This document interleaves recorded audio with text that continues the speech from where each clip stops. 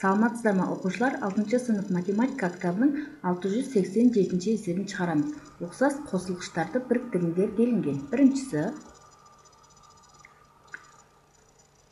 үчтен эки икстен азайтамыз экиден бир иксти ол үчүн биз үч менен экинин эң кичи ортак эселигин табабыз ол бизде алты болуп табылады. Мына жерге ортак бөлүм беретін болсам алтыны үчкө бөлүп экиден берем. Мына жерге алтыны экиге бөлүп ортак бөлүм үчтен берем. Ал эми ары көбөйтөйт экини эки менен көбөйтөйтүн болсом төрт иксин жазамыз. Азайтамыз үч менен бирди көбөйтсем үч касына иксин жазамыз. Сонда икстен үч иксти азайтатын болсом бир икс. Бөлүү алты.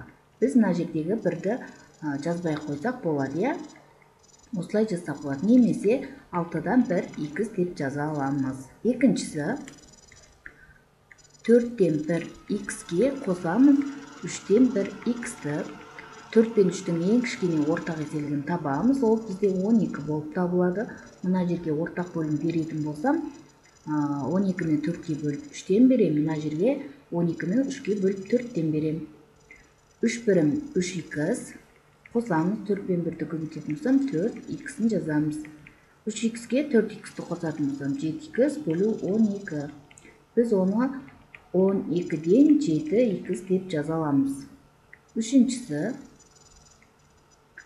минус он экиден жети игректен азайтамыз алтыдан беш игректи ал он эки менен алтынын эң кичкене ортак эселигин табабыз ол бизде он эки болуп табылады мына жерге ортак бөлүм беретін болсам он экини он экиге бөлүп бирден берем мына жерге он экини алтыга бөлүп экиден берем бир менен минус жетини көбөйтсем минус жеті игрегін жазамыз қасына азайтамыз.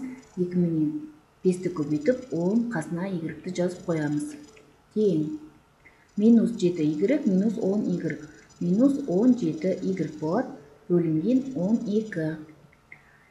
Алдына минусын жазайық. Енді он жетіні он екіге бөлетін болсақ бір бүтін он екіде бес игрек деп біз осылай жаза аламыз. Келесі төртінші есебіміз тақтамызды жоғары қарай көтеріп алайық. Он бестен сегіз игректен азайтамыз бестен үш игректі он бес пен бестің ең кіші ортақ еселігін табамыз. Ол бізде он бес болып табылады. Мына жерге ортақ бөлім беретін болсақ он бесті он беске бөліп бірден береміз. Ал мына жерге он бесті беске бөліп ортақ бөлім үштен береміз. Енді ары қарай көбейтейік бір мен сегізді көбейтеміз сегіз игректі жазамыз азайтамыз үш пен үшті көбейтеміз тоғыз игректі қасына жазамыз сегіз игректен тоғыз игректі азайтатын болсам минус бір игрек болады бөлінген он бес біз оны былай жаза аламыз минустың алдына шығарайық он бестен бір деп жазып қасына игректі жазып береміз бесіншісі тоғыздан бес м қосу үштен екі м ол үшін тоғыз бенен үштің ең кіші ортақ еселігін табамыз. Ол бізде тоғыз болып табылады. Мына жерге ортақ бөлім беретін болсам тоғызды тоғызға бөліп бірден берем. Мына жерге ортақ бөлім беретін болсам тоғызды үшке бөліп үштен берем. бір бесін бес қасына емді жазамыз.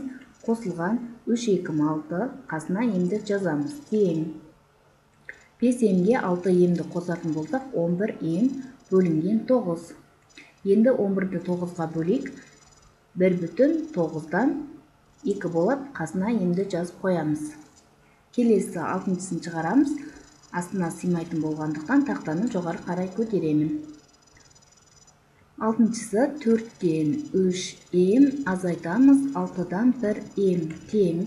Төрт пен алтының ең кіші ортақ еселігін табамыз ол бізде 12 болып табылады.